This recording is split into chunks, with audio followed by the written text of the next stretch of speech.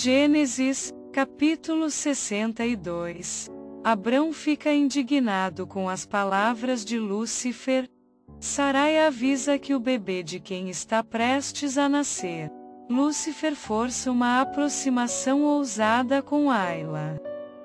Quem começa a sentir as dores do parto, Anzaet descobre a verdade sobre Abrão e Sarai. Sarai é levada até o quarto do faraó.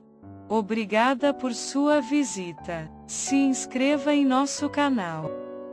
Compartilhe este vídeo com seus amigos. Deixe seu gostei.